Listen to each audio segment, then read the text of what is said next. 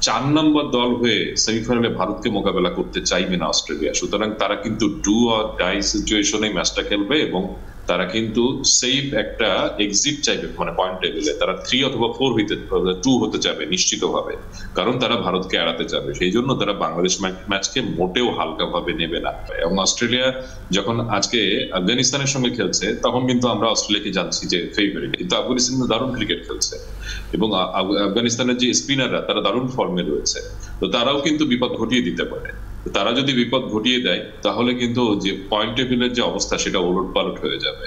মানে semifinal contender হিসেবে পাকিস্তান রয়েছে নিউজিল্যান্ড রয়েছে ইভেন আফগানিস্তান রয়েছে। এই তিন দলের একটা দল নাম্বার ফোর হয়তো বা স্পটটা নেবে এবং নাম্বার থ্রি স্পটটা অস্ট্রেলিয়া নেবে। অস্ট্রেলিয়া দেখেন, আজকের ম্যাচে যদি তারা কোনোভাবে আফগানিস্তানকে হারিয়ে দেয়, তাহলে কিন্তু তাদের সেমিফাইনাল স্পটটা ফিক্স হয়ে যাবে। কিন্তু নিশ্চয়ই পয়েন্ট টেবিলের শীর্ষস্থানটা ভারত নেবে। তো চার নম্বর দল হয়ে সেমিফাইনালে ভারতকে মোকাবেলা করতে চাইবে না অস্ট্রেলিয়া। সুতরাং তারা কিন্তু ডু অর ডাই সিচুয়েশনে ম্যাচটা খেলবে এবং তারা কিন্তু সেফ একটা এক্সিট চাইবে মানে পয়েন্ট টেবিলে তারা থ্রি অথবা ফোর হইতে টু হতে চাবে নিশ্চিতভাবে।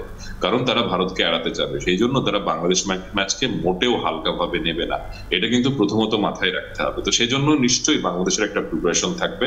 এটা উপমহাদেশের কন্ডিশন অস্ট্রেলিয়া দারুণ ক্রিকেট খেলছে প্রথম দুটো ম্যাচে হারের পর। কিন্তু কিন্তু গিভেন ডেতে বাংলাদেশ কিন্তু দারুণ কিছু ঘটিয়েও দিতে পারে। এবং বাংলাদেশ যেহেতু শ্রীলঙ্কার বিপক্ষে two eighty plus run change করে টু এইটি রান চেঞ্জ করে তারা কিন্তু জিতেছে। খেলা হবে মজা হবে আর খাবার জমবে রুচি সসে।